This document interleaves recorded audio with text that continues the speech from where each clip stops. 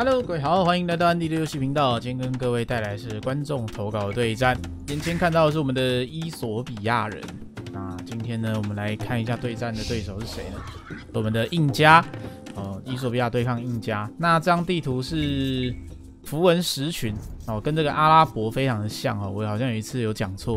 那符文十群的特性呢，就跟阿拉伯我是觉得蛮类似的啦，就资源分布上也是算是就就很很平均。那符文石群看起来外面也不是很好围哈，它一样有留这个，就是很很很宽广的这个空地给你去围。那不过我看一下印加这边好像算是比较好围，我觉得，因为它这边有三重、四重的树，然后这边还有一些石头跟黄金可以这样围起来，所以其实印加这边比较好围。那伊索比亚这边是比较比较难围的，因为它前面这边空地是有点大，不过差不多了。一样有这个两头野猪嘛，然后羊啊、鹿啊都有。OK，那比赛开始之前，一样先来看一下文明特性。今天投稿的是我们的伊索比亚人，所以我们来看一下伊索比亚工兵文明。那伊索比亚的工兵特性就是攻击速度会比较快，有十八趴的这个攻击速度。然后再就是升级到下一个时代呢，会加一百黄金跟一百食物。哦，你可以当做就是返还呐，返还你升升这个时代的费用哦。那真锋剑的话，本来就只需要那个食物嘛，所以你这样加一百黄金跟一百食物，还多赚了黄金，所以还不错。升级下一个时代就可以拿。那重装长兵升级免费，哦，就这这条线哦，可以升到重装长兵免费，这很不错。因为通常伊索比亚玩这个战术，就可能玩弩兵的时候啊，重装可能会比较没有那个资源去升级哦。那这样子的话，可以免费升到重装，对方出骑士也不太怕。啊，再来看到的是弯刀勇士。啊，弯刀勇士也是，我记得上次也有 buff 的城堡兵的这个攻击，啊，还是血量，好像记得都有 buff。总之，弯刀勇士，啊，可以注意一下这一场，看有没有机会可以用到。攻击力高，速训训练速度快，移动速度奇快，其实就是移动很快的步兵啦。然后攻击力真的很高，十六点伤害，好，不过血量就四十五点，然后也不算特别的多，毕竟常见兵就已经六十点了，所以算是少量血的一个玻璃。玻璃近战，哦，那个伤害还是蛮高的。银冠跟金冠科技分别是可以训训练这个弯刀勇士增加速度，还有工程所制造的工程所的这个单位轰炸范围变大。OK，那团队加成是箭塔跟哨战视野加三。来看一下那个文明特性，弓箭场的话也看一下，可以升强弩哦，然后战矛重装马，没有安息人跟火枪兵，剩下都有。军营的部分呢，少了剑勇之外呢，其实也是一应俱全，都有马厩的部分少了品种，那可是有重装骆驼、重装骑士跟匈牙利骑兵，啊，还是给到跟重，所以呃，伊索比亚要打这个马厩的话呢，也还是能玩哦。那骆驼虽然就是少二十点血嘛，就半残，但是呃，还是可以适时的选用一下。那伊索比亚其实之前也是蛮常会看到有用伊索比亚的那种，就是。工程战术，哦，工程所战术，因为它的工程所是完整科技，哦，有火炮、重弩、重头、重冲，全部都有。兵工厂的话，少了三级的马凯，剩下的科技也是一应俱全。然后经济部分少了轮根，剩下也都有。OK，那我们就来看一下这场比赛吧。这场比赛的话，对手是印加人，所以现在印加其实也不能塔攻了嘛，已经改掉非常久了。我们可以从这边快速浏览一下印加的特性，有一个免费羊驼，然后城堡时代的话，升级兵工厂会影响村民哦，要从城堡时代的哦，开始是这个封建就可以嘛，现在不行了。我再就是建筑石料减十五 percent 的这个费用，那这次有加强他的枪队长嘛，那就看这一场对手会不会去用到。好，银冠金冠科技，各位可以看一下毛毛兵跟投石手会没有最小射程。在后期战斗可能会比较有用。植物盾的话，其实还蛮不错的哦。英勇士哦，然后投掷手枪队长的近战远程护甲分别加一跟二哦，也是非常多。还有农田建造速度也比较快，那可以提升一定的经济收益。OK，好，那现在的话看起来是印加这边优先的先上封建时代，印加这边是提早上，大概就二十一批。二十一批上风，那看到伊索比亚这边是直接把墙给围起来了，那应该就没什么意外，要上城堡做一个不算算专职城的打法吧。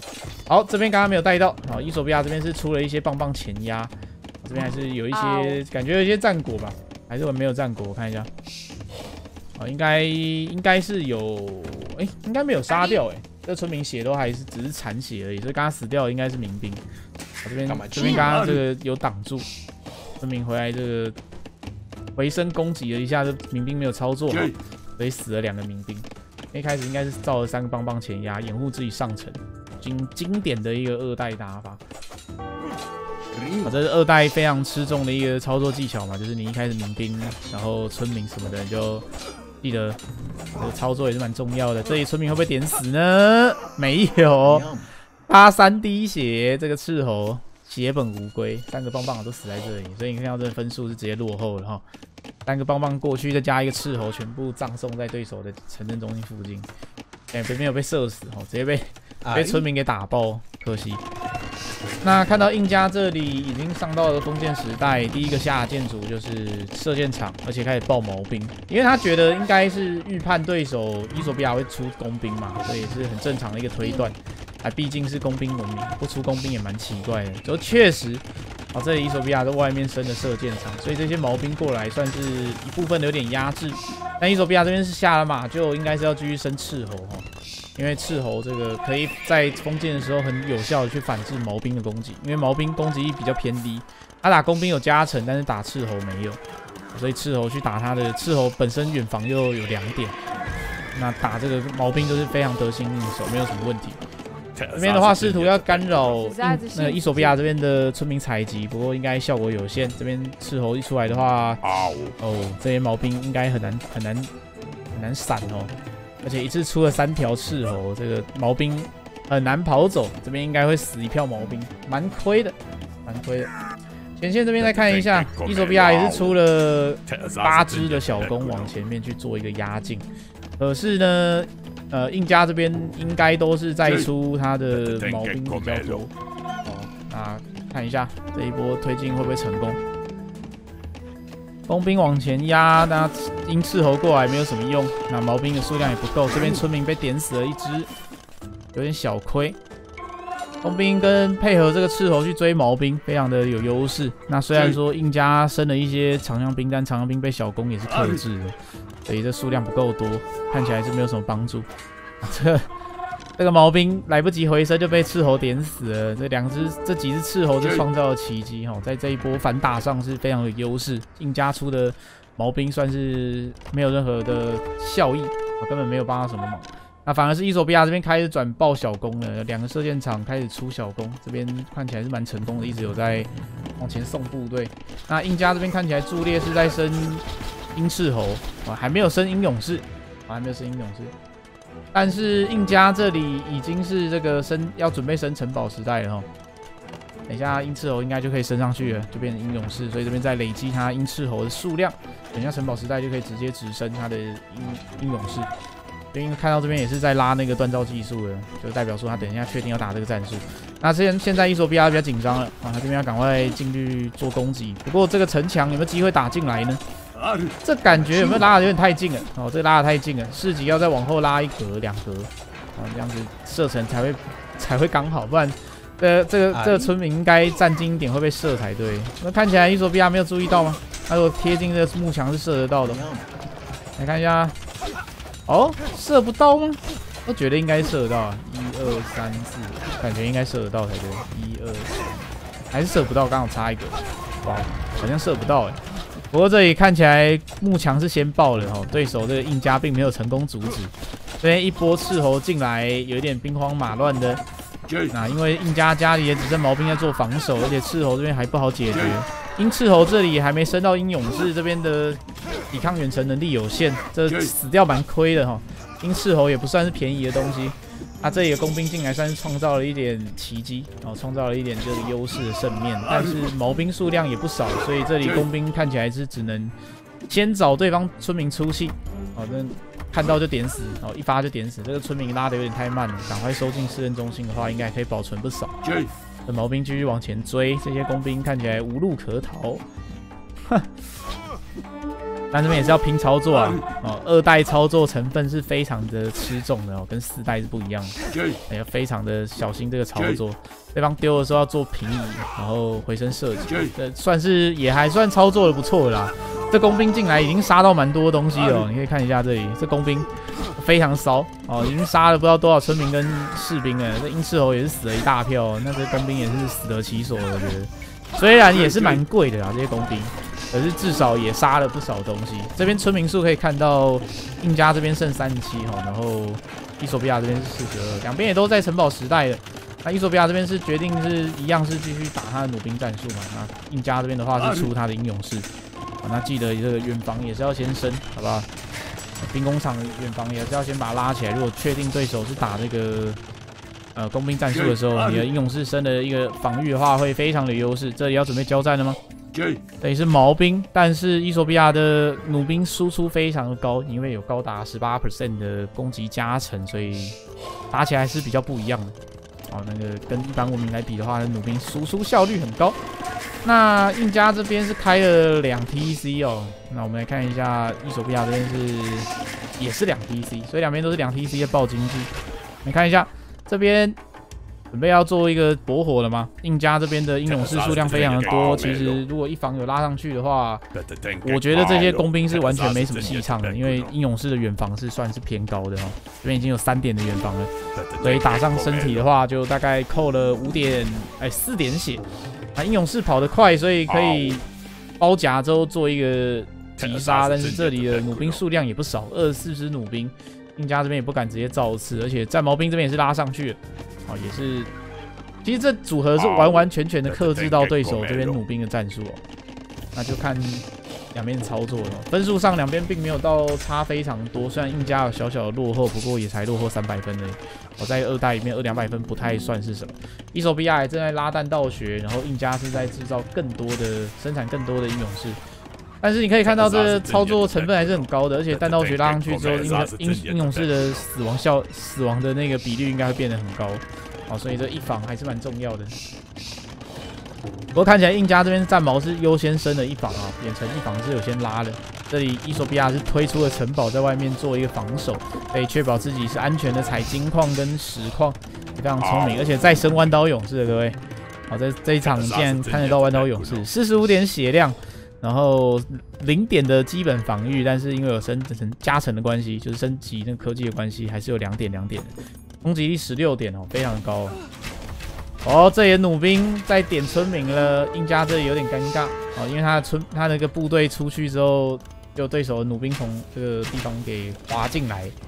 把这边村民稍微点了几只，所以这现在村民数印加有点有点落后的严重了，已经是五十九对七十九。这边有没有包夹成功？这边英勇士围上战矛兵开始做攻击，这里英勇士速度非常的快，这个攻击效率还是非常的好。但是前面这边有弯刀勇士，而且后方有城堡，这印加不能选择硬上，而且弯刀勇士打英勇士是很有优势的。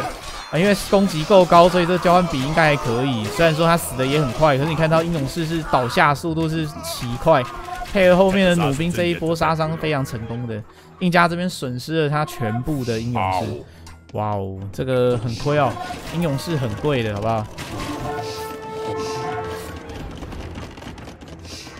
啊，英勇士造价我记得二十、十五、五十黄金嘛，所以是相当吃黄金的一个兵种。反正像这样被换的话也是蛮亏的。呃，我看一下那个伊索比亚的弯刀勇士要多少钱哦？刚刚没有看，五十食物跟三十的黄金。呃，二代的话黄金还是比较值钱呐，所以利用食物去生产的单位就相对还是比较划算一点。然后刚刚那一波交换，你可以看到这个弯刀勇士要对抗对手的勇士是完全没有问题哦。那那波交换是非常成功。那意思呃，印加这边就只能采取比较守势了，因为刚刚部队大量的死亡哦。你看这个弯刀勇士直接拿两把弯刀，好大一把弯刀，我在外面做这个游击。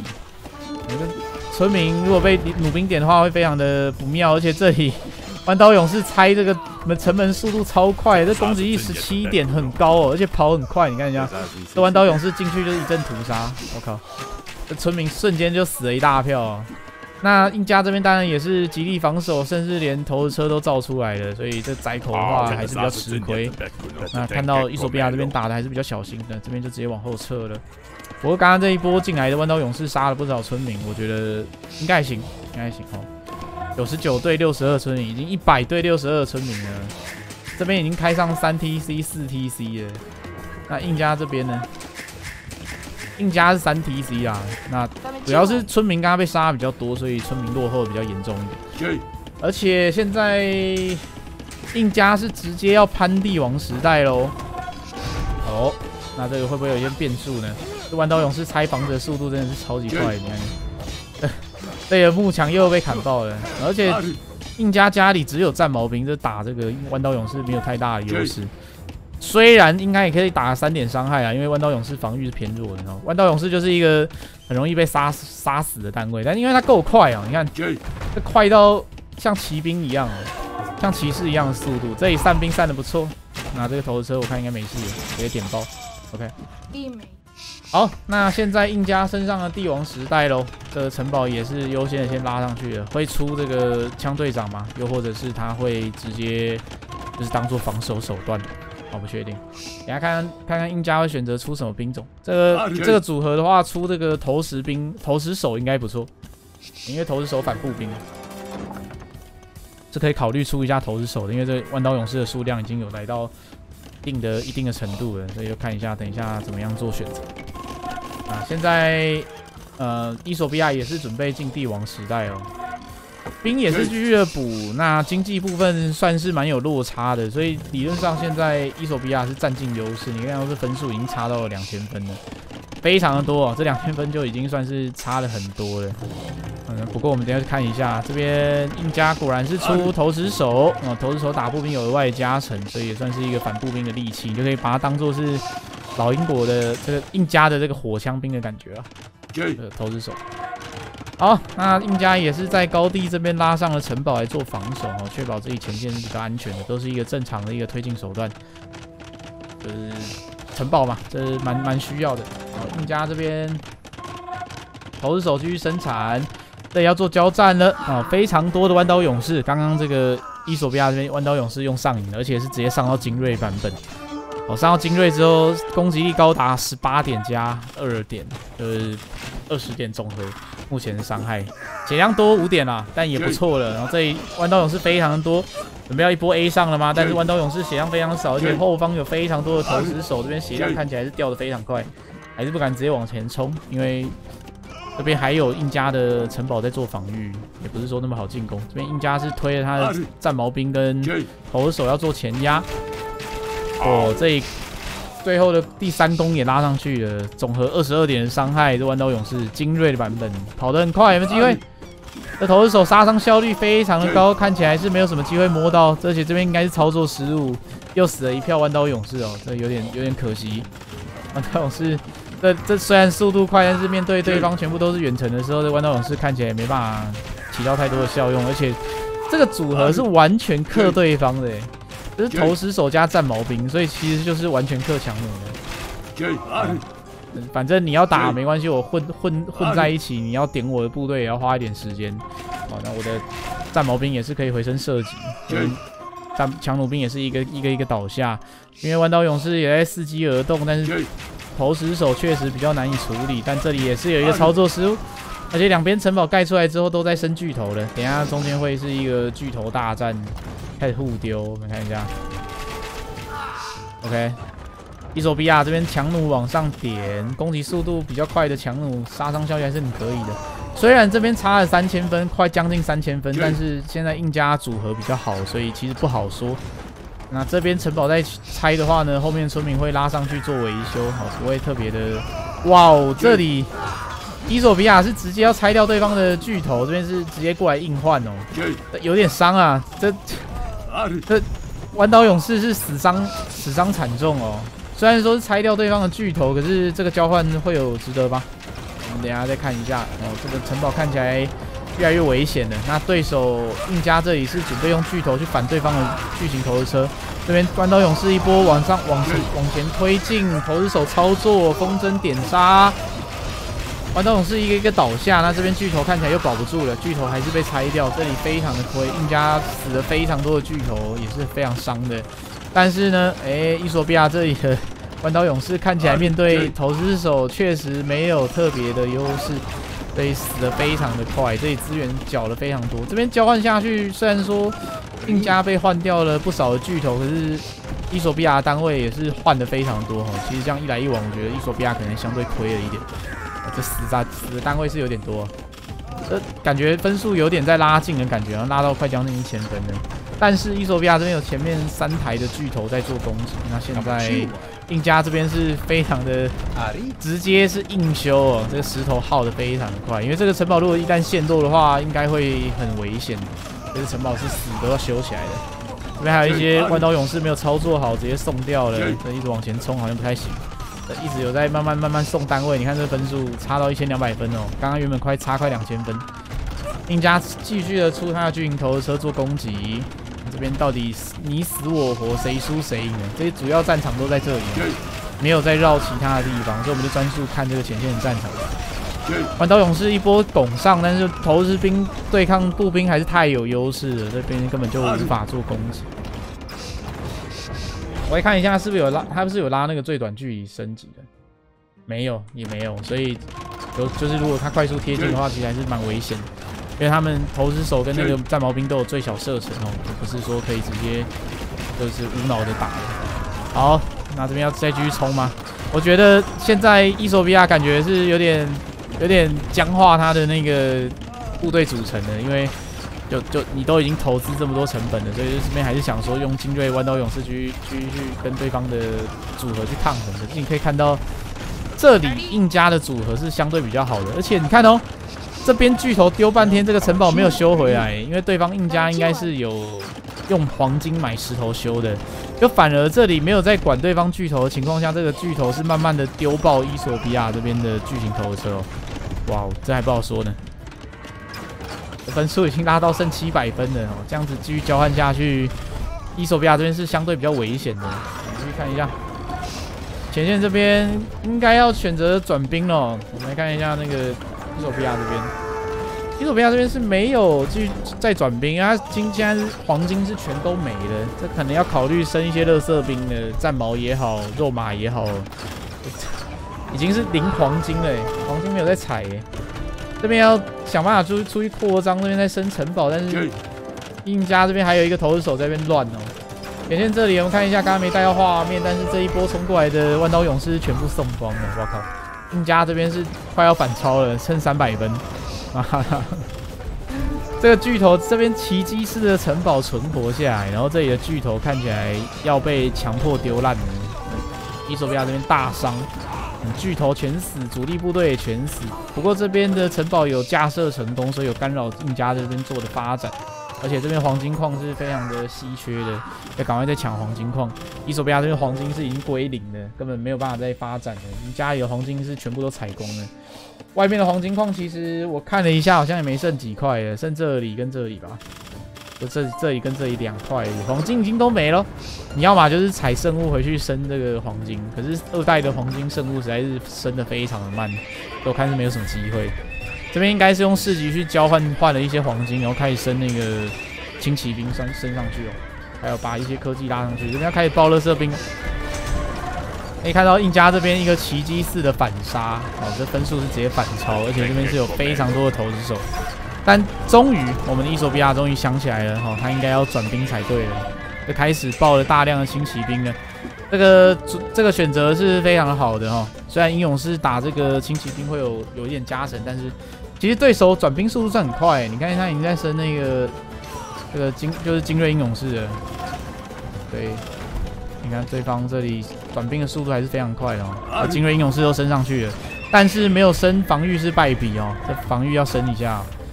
因为精锐勇士数量够多的话，我觉得打匈牙利轻骑兵还是可以的。但这边有一个比较疏忽大意了，呃，印加这边的巨型投石车看起来有点危险。我们看一下，伊索比亚这边的轻骑兵，匈牙利轻骑兵数量也是非常多，而且将近是满配的一个数值。这里巨型投石车看起来是有点撑不太住，而且投石手打骑兵是没有什么太大的优势的，所以这里轻骑兵的速度是非常的慢。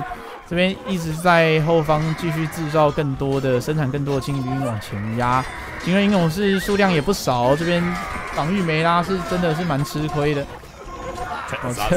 虽然你看你看哦，你没拉防御都还是有办法就打的还算是可以当当上一个称职的肉盾。如果你连防御都拉的话，我相信匈牙利轻骑兵应该不是你对手。这边打一打，两边分数目前已经持平了。后方投石手虽然没有步兵单位可以打，但是这个数量够多，所以这个输出效率看起来貌似也还可以。啊，对方对方这里的匈牙利轻骑兵死的还是算蛮快的。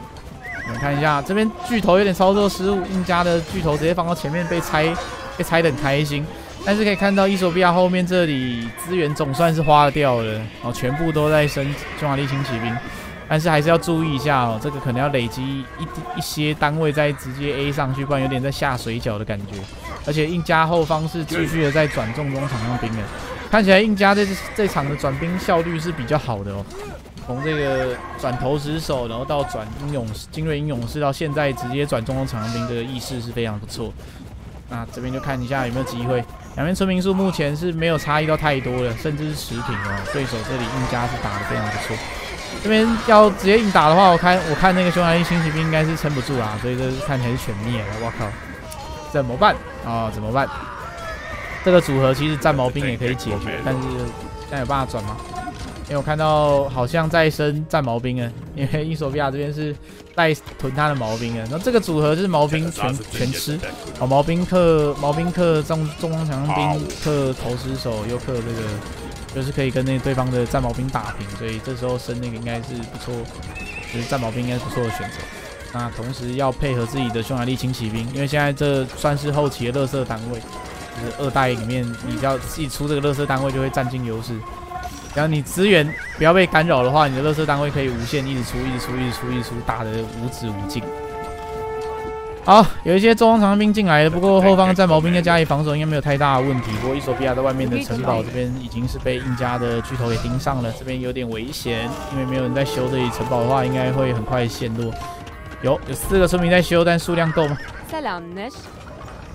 呃，现在伊索比亚这边压力比较大哦，因为对手的这个部队量还是算蛮多的，而且刚刚生出来的匈牙利轻骑兵都被换掉了，这里巨头没有保护好，哎呀，可惜。就这边一波往上之后呢，后方的战矛兵是直接往前压的。你可以看到前方这些投石手死伤非常的快。这边的张中央长兵虽然在抓匈牙利轻骑兵，但是他没有注意到自己的投石手，这里真被战矛兵给屠杀，死的死的也是蛮大一票的。这战矛兵打投石车是没有什么问题，前面的。中央长兵感觉快快慢慢被消耗殆尽了。好，伊索比亚这边的战矛兵还是持续的往前送，然后这边有一些英勇士在的话呢，还是可以稍微抵抗一段时间。战印加这边的组合看起来稍微还是偏优势，然后分数还是稍微领先了一百分。我们看一下旁边这里哈，伊索比亚这边是把这边的黄金矿硬了硬抢下来，这大概是一个关键，因为现在对手印加这边看一下，印加的黄金也是归零了，他也只能爆乐色兵了。也就是说啊，等他这个。剩下的英勇士死完之后，他就倒大霉了。这边还有一些弯刀勇士出来，出来这个收尾刀，好不好？哇，这跑的可快了！这投石手被砍了几只回声射击，而且现在黄金硬加黄金被控制之后，是完全没有黄金的进账，这边只能被迫出乐色兵跟对方对爆，那这样就有点有点麻烦了。因为现在伊索比亚是有黄金的，所以他可以混合兵种。他可以出弯刀勇士，可以出匈牙利，可以出战矛兵，这种混合组合的话，打起来还是蛮强的。你看对手这里看起来有在节节败退的感觉，他一一阵哦，原本看起来应该有点快要逆转的态势，但是因为这边资源控制的不错，啊，这城堡放在这边的话，看起来效益不错，而且这边资源都把对方的资源给压住，所以你可以看到印加这边是已经基本上家里快断炊了，只剩下农田跟木头。而且现在看起来，伊索比亚因为有黄金兵还可以用的关系，前方部队这边也撑不太住。这个反打已经让印加这边有点喘不过气来了。好，伊索比亚这边人口是已经报到已经已经是满人口了哈。那印加这边的话是没有，已经没有没有满人口，而且资源上的话木头已经是快干掉了。两边村民数虽然说差异已经有拉开了哈，但是其实。其实我觉得伊索比亚这边村民有点爆的过头，一百五十几个太多了，被删掉一些，呃，有点太多了，全部压缩到自己的军事单位的一个生产。好，这侧边还在伊索比亚侧边还是造了马厩，等一下可以直接在旁边升那个匈牙利轻骑兵，就往对方家里送，去破坏经济，非常不错。这里继续压的话，我看一下最后这一波战矛兵往前推，两边科技攻防是一样的，那就是比数量了。但是看起来印加这边已经是倒大霉了，嗯，最后这边进来的是匈牙利轻骑兵，而且家里也只剩战矛兵在做防守的话，看起来是不太行。匈牙利轻骑兵现在没有东西可以打他了，就算有这个中央长枪兵，但数量好像不太够，而且印加这里的村民已经开始又开始严重的落后了，这边被屠杀到剩八十出头，这边只能打出 GG 结束这场比赛，GG。他接什么？印加是 F F 泰尔，就是 F 阶的文明啊。他觉得印加超烂，好吧。